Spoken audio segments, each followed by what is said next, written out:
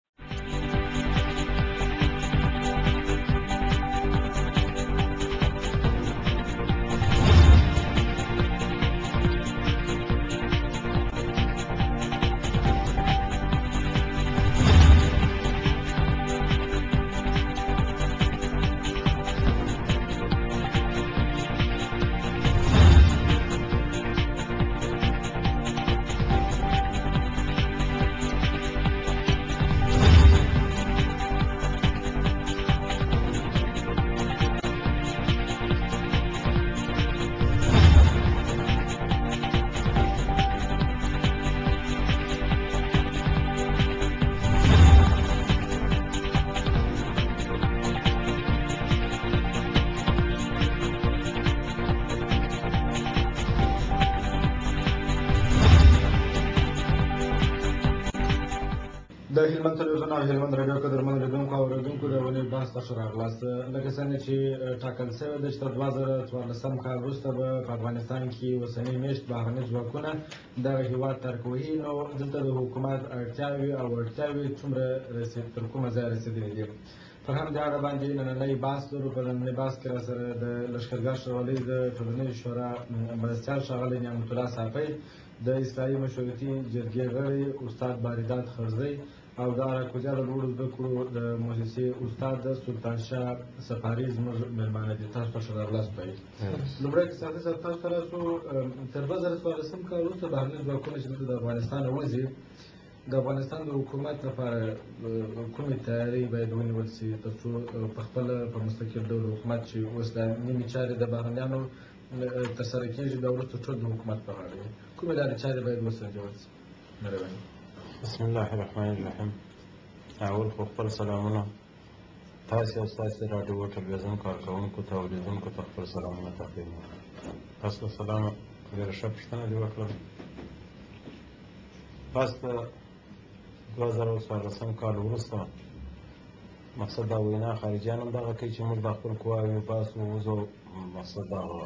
ملک به موږ د افغانانو ته ورسپارو او افغانان به خپل د ملک چارې په خپله مخته بیا زموږ دا غوښتنه ده اول چې زموږ دولت کوم دولت چې په هغه اول سر کې چې زموږ دولت او اردو مو جوړه وه او هر قسم نوع د مشکلاتو په حالاتو کې سامان حالات چې زموږ د ملک وه هغه په دې انقلاب دغه سره خو تاسو ته در معلومېږي جواد صاحب چې هېڅ شی نشته زموږ په ملک کې بل فرض کا د شاید حکومت راونه ستا او تو حکومت جمهوریت سره د جمهوریت حکومت سره مسد نه لار بل حکومت راغی راځه تر دا وسه پورې نو خبره ده چې د زموږ ټان زموږ تایرا زموږ هغه وسایل چې موږ د خپل ملک دفاع باندې کوله هغه زموږ سره نن سبا نشته واقعیت خبره ده اوس بیا هم دا زموږ ملک فضل د خدای دی د اردو د نګاه سره د پولیسو د نګاه څخه په پښو ولاړ دی ولې په دې خاطر چې هغه ملي اردو مونږ تر یوه حده پورې فضل د خدای د مقصد رسېدلې ده زیاته سوې ده کمه نه ده چون هغه یوازې په اردو انسانان به څه وي چې کوم هغه د ضرورت سامان آلات چې دی موږ د بینالکلامي قواو څخه دغه غواړو چې د زموږ د ملک لپاره مقصد ټانګ ته ضرورت لرو باید مقصد زموږ د ملک سره تایریو ته ضرورت لرو باید دا مقصد زموږ ملک ولري نور داسې وسایط چې هغه باید مقصد زموږ ملک ولري نظامي تجهیزاتو کې ما ورته فکر کوم چې نظامي تجهیزاتو کې د افغانستان پوځ مشکل ولري په ملکي حکومت کې کوم اړتیا مهمه ملکي حکومت کې مقصد بل فرض کول زموږ په دې وطن کې دا اوس دا هر څه زیات بیکاري ده غربت دی زموږ ملک تر اوسه پورې د دغه ستونزو سره مخ دی چې د هغه سیوا په دې خاطر چې زموږ په دې ملک کې بل فرض کا کاغه کوم ساحې چې د دولت د کنټرول سره وتلي دي په هغه کې یا تاریخ کرل کیږي یا مقصد مواد مخدر مقصد خلک هغه ته تشویق کیږي هغه ځایونه لکه زموږ بل فرض کا ناوا د مرجع د بولان دی دغه علاقې اوس تاسو ورسې کولای شي چې مقصد بابا جی دا لا کوته ورس یو دانه تارک زموږ په دا وطنو کې چا نه دی کړی چون چې هغه کوم ځایو کې کړه کیږي یا مقصد مواد مخدره ته خلک لمن وي هغه هغه منطقي دي چې هغه د حکومت د کنټرول نه کې وتلي منطقي اوس موږ په ملک دغه د دغه حسرات او دواګانو دغه نه حسر کړی دی چې زموږ په ملک په غنمو باندې زموږ په پالیزونو باندې زموږ د ملک دا نور د څه هغه چې زموږ ملک ته یو لاس راوړل راوړي تاسې وینئ چې والي صاحب ته په دنیا دنیا خلک را روان دي چې زموږ ملکونه ټول د تباهۍ سره فارزونه مو وچ شول دا شش کال د غنمو سره ډوډۍ نه پخېږي دا حسد ټول د دوایګانو دي زموږ د خارجیانو سره دا خبرې وکړې چون چې دوی وایي چې تاسې مقصد دا بند کړئ دا موږ په اظهار دنیا ته شو دا تاریخ اوس په خپله دا خلک داسې نه کوي داسې په خدای باور وکړئ هسې په دا وطنو کې دغه دي خلکو علاده ټول کړي دي د هغه د خاص خاص تخم دی چې دا خارجیان یې پاشي لیکن دوايي ورسره دا دي بله بل زموږ ملک ته دغه ضرورت دی چې دلته باید ښه ښه کارخانې جوړې شي فابریکې جوړې شي چې زموږ دغه خلک په دغه کارو باندې دغه شو د وړه کارو څخه مخ راوړي بل ډېر مننه ماري صاحب دا موضوع ته ورسره راځو سفاري صاحب د حکومت په مجموع کې دا تیارې چې نیول کېږي د امنیتي چارو انتقال دی د بهرنیانو څخه افغان ځواکونو ته امنیت سپارل کېږي دا پروسه تر دوه زره څوارلسم کال پورې چې په هر ډول وي عملي کېږي د حکومت لپاره په دغه حالاتو کې کومه تابع مهمه ده چې د حکومت آمادګي ورته ونیسي او تر څو وروسته خپل ټولې چارې خپل سمبال بسم الله الرحمن الرحیم په سر کې د هلمند رادیو ټلویزیون درنو لیدونکو او اوریدونکو د نننی میز درنو ګډونوالو او درنو مېلمنو او په خپل تاسو د وری صاحب ټول ته السلام علیکم ورحمت الله وبرکاتو لکه څنګه چې د وری صاحب تاسو پر سره ده خو زه ستاسې د پوښتنې له مثبت اړخ سره څه ځواب منفي لرم هغه په دې معنی چې زه په خپل په دې اند یم چې له 2014 کال څخه وروسته بلا هم نړیوال نظامی ائتلاف له افغانستان څخه نه وځي هغه به بیا هم په افغانستان کې وي او هغه خپل حضور په دغه حساس حالات او ظروفو کې د افغانستان په خاص ستراتیژیک او د جور په جور په سوقل جوشي موقعیت په اساس باندې لاس نه ورکړي او په دغسې خاصو حالاتو کې د امریکا او متحدینو او همدغه رقم د نړیوال ایتلاف ځواکونو وتنه په افغانستان نه یوازې بلکې په سیمه او نړۍ کې د امریکا او د متحدینو ستراتیژیکه ماتې ده په داسې حالاتو کې ځکه امریکا افغانستان یو ځل بیا یوازې نه پرېږدي که تاسو وګورئ نو دا د 2014 کال څخه وروسته د نړیوال اطلاق ځواکونو وتل دا فقط د انتخاباتو لپاره یو کمپایني شعار و او تاسو وینئ چې په امریکا متحده ایالاتو کې دم غړې ټاکنې روانې دي او لا د ټاکنو د احتمالي پایلو څخه معلومیږي چې بارک اوباما د دیموکرات حزب په خوانی سناتور به یو ځل بیا په ټاکنو کې کامیابی ترلاسه کړي او د امریکا لپاره به د راتلونکي څلورو کلونو لپاره بیا هم د ولسمشر په توګه پاتې کیږي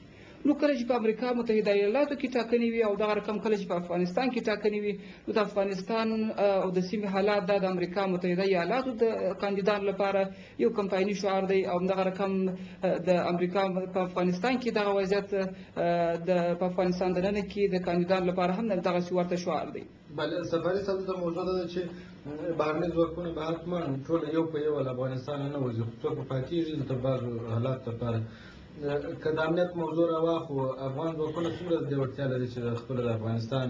یا په که موږ هلمند کې وګورو د هلمند امنیت کنټرولولی سي یا ساتلی سي لکه څنګه چې مخکې مې اشاره وکړله خو چې له سره خو د دوه زره او څوارلسم کال څخه وروسته نړیوال نظامي ائتلاف له افغانستان څخه وتلو ته چمتو نه دی، ولې یوازې د ماموریت او عملیاتي ډول ته به تغیر ورکوي، په دې مانا چې هغوی به تر ډېره بریده پورې بیا د افغانستان د دولت له وسله والو مخالفینو سره په استخباراتي جګړو کې بوختېږي او هغوی به خپل نظامي جګړې رامحدودوي، ځکه چې په نظامي او مخامخ جګړو کې تاسو ولیدل چې دلته نړیوال ائتلاف ځواکونه دوی د افغانستان له اراضیو سره نابلده وو او دلته دا جګړه ییز استحکامات او غرونه او درې په دې ځایونو کې نړیوال اطلاف ځواکونو سخت تلفات ولیدل نو دوی یوازې غواړي چې خپل د تلفاتو شمیره راکمه کړي او دلته په افغانستان کې یوازې خپل ماموریت یو تغیر ورکړي او دا ځکه چې په خپل باندې کله چې په تیرو ټاکنو کې د ولسمشر بارک اوباما د د امریکای متحده ایالاتو د ولسمشری پوسټ کاندید نو په هغه کې د چین شعار دا معنی ورکول چې دوی به د بوش تیری پالیسي نه تعقیبوي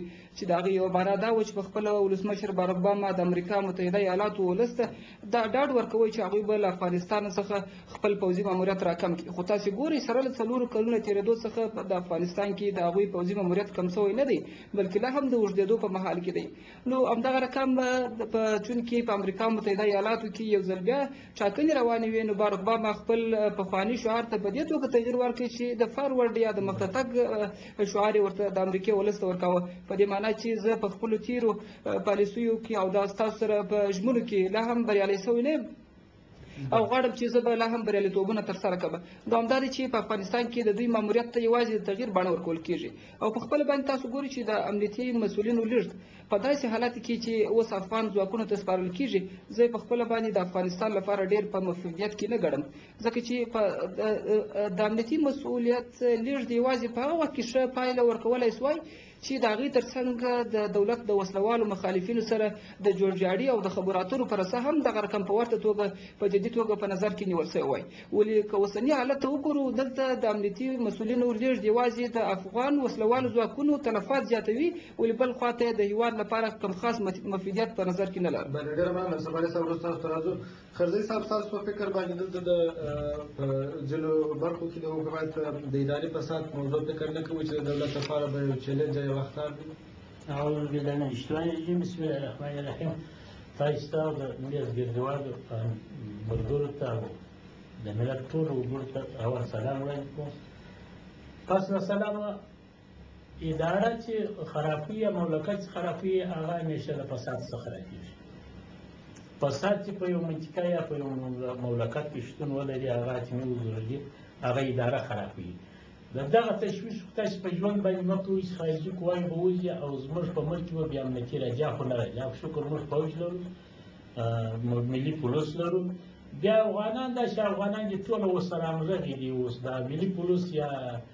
پوځ یا بل څه پر دا ملت ځواک چې ملت یې شاته ولاړ دي ملت هم ته یې ورسره دې کومک سره کوي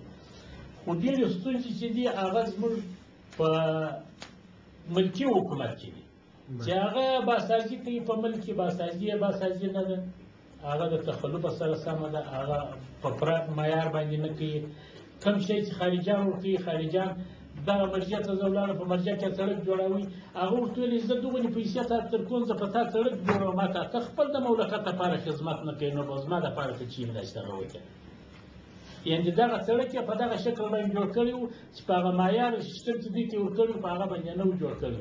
نو دغه مملکت کې چې اداره سمه نه شي اداره د فساده خلاصه نه شي دا مملکت کې بالکل د اداري فساد چې بالکل نه سمېږي ته د قضا سره واخې بیا د را ځای چې راځي دا ټول اداري فساد په دې کې سته مظلوم درته ټکول سوی دي دربدار سوی دي بله خبره صاحب الاخره باید څه وسنه اداري فساد باید چې دا چې وسي اداري فساد ورک شي او باسازي په ملک کې شروع شي اوس پر کېدل یې ستاسو په نظر څه ډول کې ځکه دا په یو لار غواړي میکانیزم غواړي دا مطابق دا میکانیزم دا شي غواړي چې مرکزی حکومت به بالکل په دې باندې دغه کې د دغه ځای سره شروع د دغه ځای به بالکل دغه دغه ورکی مامورین به صفه مامورین د اسپاک رښتینی خلک د ملک خلک دا نوې طبقه چې دغه سوې ده دا به مقرر کوي په ادارو کې چې هغه فساد ورک کړي د هغو په اوږو باندې دا فساد ورک کړي نور دغه خلک چې په دغه زاړه ماموریت کې دي تایم دي چې یو مامور لس کاله پورې ماموریت ناست وي هغه به نو کله دا اداره برابره کړي کله به دا اداره جوړه کړي کله به دا ادارې سره خدمت وکړي کله به دا خلکو سره خدمت وکړي ته اوس ورسه په دا وطن کې دا خلک دا کارونه کوي دا دغه کوي کله هغه سیستم باندې هغه برابر دغه تخمونه چې ورکی دا تخمونه کم په مایار په سیستم باندې تقسیم شوی دی ورکول شوی دی د زراعت په بخش باید کومک وشي په فساد اداري کې باید کومک وشي د خلکو مخنیوي وشي هغه فساد اداري ورکړي دا باید د مرکز سره شروع شي د ځای ټول ورکړي بله ډېره مننه وروسته تاسو ته راځو صبري صاحب دلته د حکومت کې ځینې برخې مثلا د ډیورن کرښه موضوع یا دغه ډول نورې موضوعګانې دي چې روزمره د افغانستان د حکومت مشران ورسره مخامخ کېږي او په دې اړه باندې ځینې بهرنیان خپلې څرګندونې کوي مثلا د ډیورند د کرښې د رسمي کېدو په اړه باندې په رسنیو کې اعلان کوي چې زموږ هېواد یې په رسمي ډول پېژني ستاسو په نظر دا د افغانستان د حکومت لپاره یو په اصطلاح یو ضربه نه بولي ځکه که د ډیورند کرښې موضوع یاده سي او وویل سي چې دا د پاکستان حق دی او باید پاکستان ته ورکول شي دلته د افغانستان د حکومت مشورات په څه شي کېدای شي ښه پوښتنه ده د ډیرن د کرښې دا د ډیرن کرښې حساب چې دی دا داسې نه دی چې دا اوس راپورته شوی دی چې یا دا بعضې مملکتونه یو وخت د طالبانو حکومت و او یو ژورنالیست زما په فکر نه پوهېږم چې کوم ځای ژورنالیست خو دا را روان و زما داسې یادېږي چې زه پاکستان ته تللم او ولاړم تورخم ته نو دی درې میاشتې کېدله چې په دغه تورخم کې دلته دغه ژورنالیست هغه نوي ژورنالیستان په عباس کلان وګرځي نو دا یې دلته کښېنولې ورته ویې ویل چې ته زموږ سره دغه خط دلته امضا کړه بعد هغه بیا موږ تاته اجازه درکوو ته به ولاړ شئ هغه وویل د چیشي ول دغه خط چې ته معنا د افغانستان د خاورې صدا دی بس نور ته خارجې ژوځي هغه وویل ول ما ته نقشه پرته ده زه په نقشه روان دا ول زه هېڅکله سپیس ته نه امضا کوم هر کله چې زه د افغانستان خطو سیر ته ورسېدلم بعد هغې زاده ته در امضا کوم او زه بیا وایم چې اوس زه د افغانستان له خاورې ووتلم باریا ورته وویل چې کوم ځای دی چې تا ته در معلوم دی ستا سره نقشه در سره باریا وویل چې د هغه وخت د طالبانو حکومت و باریا وویل د ډیرن کرښه جهلم دی د افغانستان خطو سیر چې دی ول دا جهلم دی نو ګوري چې دا مقصد په دې طرف کې چې جنوب طرف کې کوټه نو وی ویل چې دغه د افغانستان دغه چې دی موږ ته د تاریخ څخه چې معلوم دی دغه دی دا د ډیرن د کرشي چې دا په هغه وخت زمان کې دا لاسلیک چې هر څا کړو زما د څه په یاداش کې نه راځي د تاریخ او امیر احمد رحمان خان په وخت کې سره دا لاسلیک ورسره سوی چې دا یعنې د سلو کلو دپاره به مقصد دا دغه یې او پس د هغې څخه به وروسته مقصد بیا ته څه پوه اوس ته ملک خود چون اوس هغه لاسلیک چې کوم هغه اول سوی او د دوی سره بل فرض کړه د تورخم په حساب باندې دلته د بولدک په حساب باندې چې کوم کوژک باندې دغه د دوی معلومه سوی او بولدک کې تر هغه حساب پاکستان اوس په ډیرو کیلومترو باندې راوښته دی زموږ د افغانستان د خواته لاړ شوی او افغانستان موږ دغه زما یادېږي زما په یادښت سره د ظاهرشاه بابا د حکومت سره ونه سره اعظم مقصد د سردار محمد داود خان و د هغې څخه وروسته مقصد د کمونیستي نظام راغی مابینځ ته چې هغه دی تر اوسه پورې جنګ جګړې انقلاب یې پای نه دی موملی لیکن زموږ دا ملک تر پایه تر دغه نه دی تېر شوی زموږ اولین په راډیوګانو کې به شعار همدا و چې دا افغانستان زموږ دا پښتونستان زموږ یعنې دا د هغه وخت څخه زموږ د ابا چې زه کوچنی وم یادېدله زموږ دا مقصد خاتو سیر نو دا خامخا زموږ د ملک دپاره نن که بلفرض که هر ملک دا غیر قانوني دغه وکړي او دا د پاکستان سره ومني چې تر دغه ځای پورې دا ستا خاتو سیر دی او د دوی پاکستان په رسمیت په دې ومني دا خامخا زموږ د ملک دپاره ډېره غټه سره ده باید چې داسې وي بله ډېره مننه سفاري صاحب دلته بله خبره دا ده چې اکثره وختونه د د حکومت سره د ځینو ادارو د ځینو بهرنیو ادارو یو ځای حرکات یا د هغوی له خوا څخه ځینې فعالیتونه کول مثلا یا د سفارتونو یا په ولایتونو کې د ځینو ادارو له خوا چې په ځینې په دولت کې د بعضو ادارو واکونه یا صلاحیتونه راکم شوي دي د دغه ډول ادارو د رامنځته کېدو سره کېدای شي چې تر دوه زره څوارلسم کال وروسته هم بهرنیان داسې یو هڅه یا کوښښ ولري فکر نه کوو چې دا به د حکومت لپاره یا په مجموع کې د دغه دولتي خدماتو د سرت رسول لپاره یو خنډ یا یو مشکل بله ډیره مهمه ده په خپل باندې د افغان حکومت په ځانګړي ډول باندې د ملکی ادارې چې ډېری هغه په ولایتونو کې د د پوځي مسولیتونو د ترسره کولو ترڅنګ په سیاسي اقتصادي او ټولنیزو برخو کې عامه خدمات تر سره کوي هغوی تر ډیره پورې له دغه ډول مواضع حکومتونو یا معادل حکومتونو څخه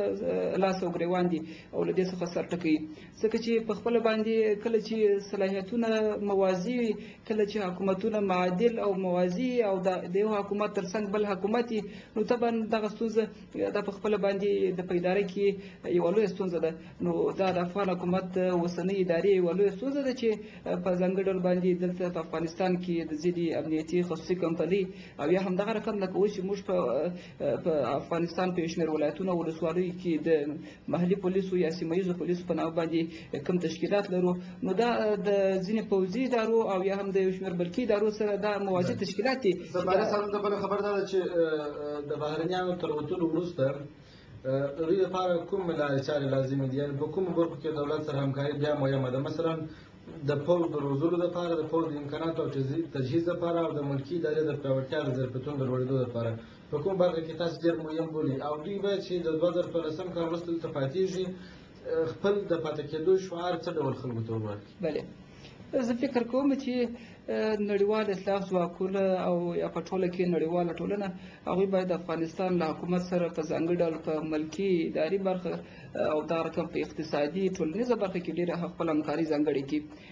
ځکه چې که زه په ځانګړي ډول باندې د ادارې د ننه ته راسو نو په خپل باندې په افغان حکومت په اوسنۍ اداره کې د فساد شتون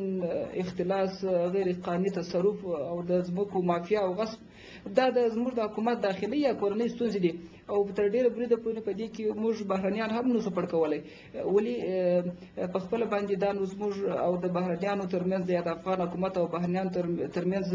د سوء تفاهم یو مهمه نقطه هم دا ده چې تل بهرنیان موږ په دې ګرمي د افغان اداره چې تاسو خپل فساد لا تر اوسه په دې یو لسکلن ماموریت کې لا نه دی ورک کړی نو تر ټولو مخکې خو افغان حکومت ته پکار ده چې سالمه اداره نړیوالو ته وروپیژني خپله اداره سالمه کړي او بیا نړیوالو څخه د مرستې او د هغوی د همکارۍ غوښتنه وکړي ولې په بله برخه کې تاسو ګورئ سره دې چې دلته د نړیوال اطلاق تر راتګ څخه یولس کلونه تېرېږي خو لا په افغانستان کې موږ نه په پوځي برخه کې او نه په اقتصادي برخه کې دومره پرمختیا وینو چې څومره چې افغان ولس هیله درلودله ځکه تر تر اوسه پورې لا که زموږ د سیمې د هیوادونو سره زموږ له ګاونډیانو سره د افغانستان د پوځ توانایي او د هغوی د تجهیزاتو او د مهماتو توانایي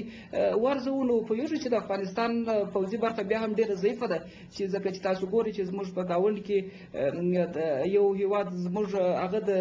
یو اټومي هیواد دی او له بل اړخه دوم هیواد مو هغه اوس د یورانیمو په غني کولو بوخت دی چې لا فکر کېږي چې لا به اټومي کېږي او دغه رقم زموږ په د سیمې د هیوادونو د ګاونډي هیوادونو دومره لوړه پوځي توانایي او زموږ ضعیف حکومتداري او ضعیف فوج چې لا تر اوسه زموږ د پوځ ډیری سرتیري لا خپل په ماموریت په ارزښت نه پوهیږي هغوی خپله دنده پرېږدي او پر کور کښېني او له بل اړخه تاسو ګورئ چې په اقتصادي برخه کې موږ دومره پرمختیاوې نه لرو تر دمه ګړی په افغانستان چې دی په خپلو پښو باندې نه درېدلی خودکفا نه دی او د دغه خود کفایت لپاره پکار ده چې بهرنیان په افغانستان کې اوږدمهاله اقتصادي پروژې پلي کړي. بله خبره دا ده چې تر لا تر څو تر څو به افغانستان د بهرنیانو پر اوږو وي، ځکه د افغانستان حکومت هم باید خپل له ځانه یو څه ولري او د افغانان هم په خپله یو کوشش وکړي د خپل هېواد د جوړېدو لپاره. تر اوسه ما وویل لکه چېرې موږ د سالمه اداره رامنځته کړو او دا تر ډېره پورې د دې پړه پر افغان ولس به او د افغان ادارې باندې ده، خو له بل اړخه تاسو ګورئ چې په خپل باندې بهرنیان په خپل د افغانستان اوسنۍ وضعیت یعنی زموږ په هر لحاظ باندې زموږ زوف دوی جوړ کړی دی بهرنیان هیله لري له افغان حکومت له ادارې څخه او د افغان ولس سره چې موږ مجبور جوړ کړي یعنی دوی نه غواړي چې زموږ مجبوریت ته د پای ټکی کښېږدي ځکه چې دوی په سیمه کې د هیوادونو د مهار کولو او محاصرې لپاره او د امنیتي نفوذ لپاره په سیمه کې نو افغانستان یو ښه ستراتیژیکي موقعیت لري نو دوی غواړي چې یو وخت که تاسو فکر کوئ تر پرونه پورې افغان ولس په دې اند چې چې کاش کې بهرنیان له افغانستان څخه ووځي او دلته افغانان په خپل په خپل لاسو باندې یو سالمه اداره رامنځته کړي خو نن تاسو ګورئ چې اوس افغان ذهنیت دومره تغییر کړی دی چې سبا به موږ خپل بهرنیان تر لاسو نیسو او بیا به هغوی ته وایي چې په افغانستان کې تاسو خپل حضور ته دوام ورکړئ دا دا مجبوریت په خپل بهرنیان په افغانستان کې جوړ کړی دی بل ډېر مننه سفاري صاحب وروسته ورته کرزی صاحب د حکومت کې د بعضو نیمګړتیاو یا دغه ډول د زورواکیو رامنځته کېدل مثلا د حکومت سره ځینې پخواني د دولت لوړپوړي چارواکي چې د هغوی بعضې اطلافونه هم تشکیل کړي دي بعضې ته بعضې ګوندونه هم لري کابل کې د هغوی یو خوا بل خوا حرکات او د ځینو بهرنیانو لوړپوړو چارواکو سره لیدنې او د افغانستان د تجزیه دغه ډول نور مسایل فکر کوي چې د بهرنیانو اعتماد ور باندې راسي یا په انتخاباتو کې د هغوی د مخته کېدو امکانات به وي اصلا داسې دي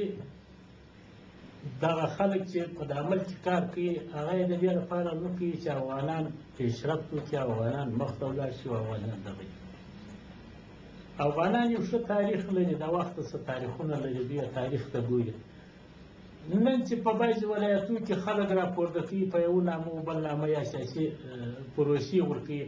دا هم داسې نه دی چې پر خپل سر څوک راولاړ شوي دي خلک یې لمسوي او خلک تحریک ورکوي خو دغه